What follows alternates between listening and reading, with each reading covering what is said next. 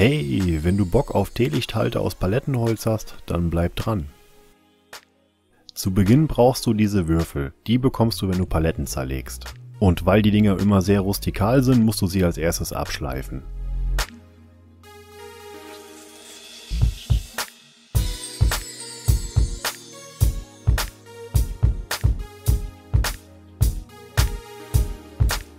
Damit wir da überhaupt ein Teelicht reinbekommen, müssen wir mit einem 40 mm Forstner Bohrer ein Loch einbohren.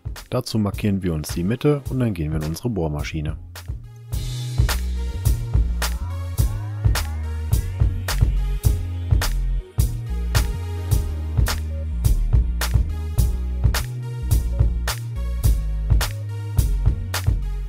Im nächsten Schritt bauen wir eine kleine Plattform. Dazu nehmen wir ein Palettenbrett, schneiden uns ein kleines Stück raus, entgraden die Kanten, das kann man zum Beispiel hier mit einem kleinen Hobel machen oder auch mit einem Schleifgerät und dann geht es zum nächsten Schritt über.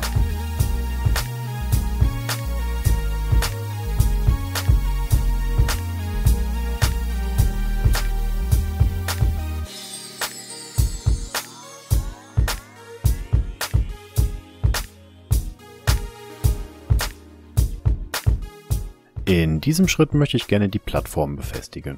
Dazu bringen wir einfach unten am Klotz ein bisschen Leim an, bohren uns zwei Löcher, bearbeiten die Löcher mit einem Senkkopfbohrer und dann können wir auch schon zwei Schrauben reinsetzen. Damit ist dann die Plattform befestigt.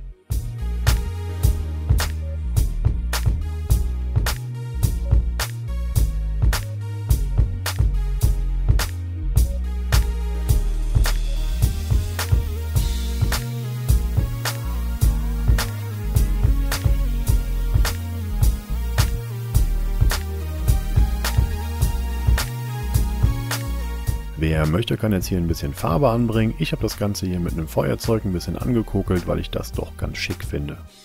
Ihr könnt natürlich auch Öl, Lack, Kreidefarbe oder irgendwas nehmen, was ihr gerne möchtet.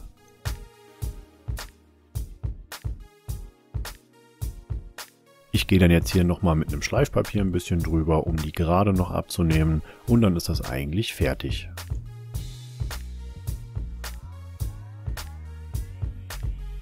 Weil der Teelichthalter für die Weihnachtszeit sein soll, bringe ich hier mit roter Wolle noch ein bisschen Christbaumschmuck an. Damit ist der Paletten-Teelichthalter fertig und kann auch schon in der Wohnung aufgestellt werden. Ich hoffe, dir hat das Video gefallen. Ich würde mich über ein Like freuen und auch gerne einen Kommentar, wie du das so fandest oder vielleicht was du besser machen würdest.